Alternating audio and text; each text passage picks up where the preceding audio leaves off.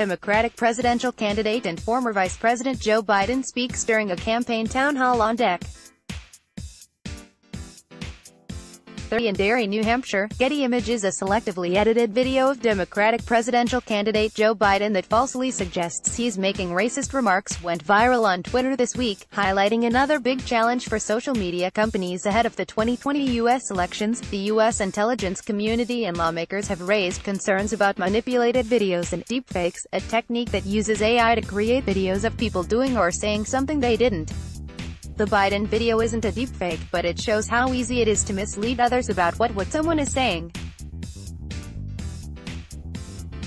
It's also another reminder that social media users should be wary about content they swiftly share with a push of a button. The nearly 20-second Biden video, which garnered more than a million views on Twitter and also spread on Facebook and Google-owned YouTube, came from a longer ABC News video of Biden speaking for more than an hour in Derry, New Hampshire, on Monday. In the ABC News video, which CNET viewed, Biden is responding to a question about his work around sexual assault and domestic violence.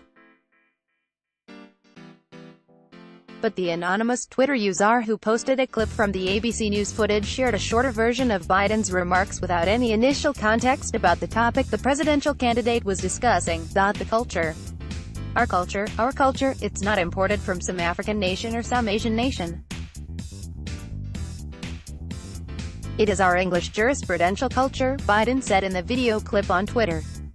The tweet that accompanied the video read, Biden proclaims that European identity of America, our culture is not imported from some African nation. Twitter users, some with thousands of followers, commented that Biden was part of the alt-right and racist.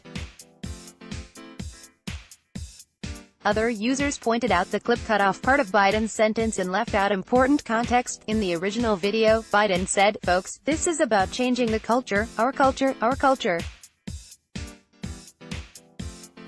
It's not imported from some African nation or some Asian nation. It's our English jurisprudential culture, our European culture, that says it's alright. A Twitter spokeswoman on Thursday said the tweet that included the Biden video didn't violate the company's rules. The company is working on a new policy to address manipulated video, although it's unclear if it would apply to this type of video. Twitter said it defines manipulated media as any photo, audio, or video that has been significantly altered or fabricated in a way that intends to mislead people or changes its original meaning. Biden's campaign didn't have a statement about the video.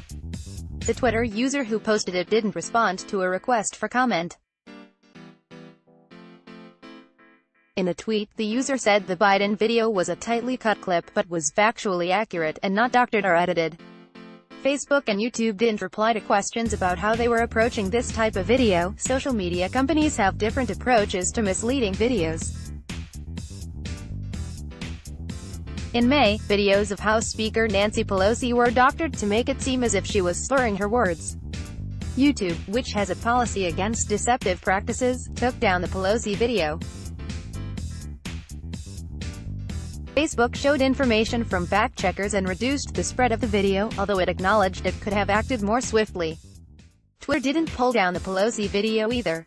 Social media companies are also grappling with deceptive videos and political ads. In October, Biden's presidential campaign asked Facebook to remove an ad by Donald Trump's re-election campaign because it contained misinformation about the former vice president. Facebook rejected that request, noting it doesn't send speech from politicians to third-party fact-checkers. The Trump's campaign ad on Facebook included a 30-second video that stated Biden had promised Ukraine $1 billion if officials in that country fired the prosecutor investigating a company affiliated with Biden's son. There's no evidence to support the claim, which has been debunked by fact-checking groups and media reports. Let's block ads. Why?